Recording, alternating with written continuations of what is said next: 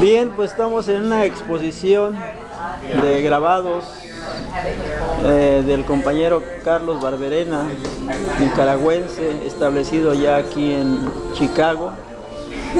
Y estamos viendo los grabados de gran formato. Eh, pues la pregunta sería, yo creo, con estos temas que vemos que tienen ese contenido social, ¿qué, qué buscas? Bueno, lo que busco es más como llevar al público a una reflexión sobre las temáticas que, o sea, sobre lo que vivimos a diario en, en el mundo. O sea, todo ese montón de injusticias que vivimos y que muchas veces pasamos por alto porque están tan ahí enfrente de nosotros que no las vemos. Y entonces a veces, muchas veces creemos que que todo este tipo de beneficios, entre comillas, eh, no van a afectar al, al, mundo, pero realmente lo están haciendo.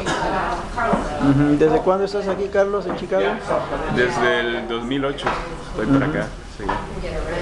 Muy bien. Sí, ya, ya llevamos ahí un par de años y empezamos acá a trabajar más grabados. Eso es. Eh, se me hizo muy interesante el proyecto de la Calaca Press, el intercambio de temas sobre Día de Muertos y que rebasó las expectativas, ¿no? Sí, claro.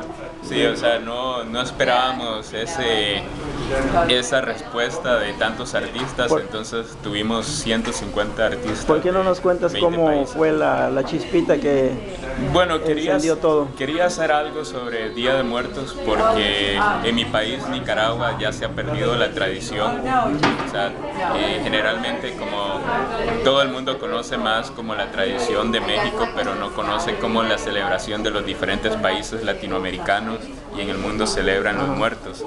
Entonces eh, eh, se me vino la idea de, de, de hacer una, una especie de intercambio con, con artistas, entonces eh, comencé la Calaca Press, uh -huh. que la idea con la Calaca Press es eh, promocionar, incentivar el, el, grabado, la obra gráfica en los, en los, diferentes países y también más que todo en Nicaragua, como promocionar un poco más.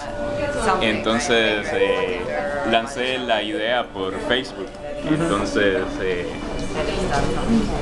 Empezamos a comunicarnos con varios eh, grabadores, invité eh, varios grabadores también a participar y ellos también ayudaron a, a compartir como la, esta idea con otros eh, compañeros grabadores. Entonces ahí se corrió toda la voz por Facebook y entonces empezamos a recibir toda esa cantidad de de trabajos y lo más interesante es que cada quien como interpretó también como eh, la muerte, ¿verdad? Uh -huh. Entonces sí, eh, fue bastante interesante y tuvimos eh, bastante respuesta y ya se ha expuesto en Texas, en el Art House Studios en McAllen, eh, también en Expression Graphics en Oak Park y en la Casa de los Tres Mundos en Granada, en Nicaragua.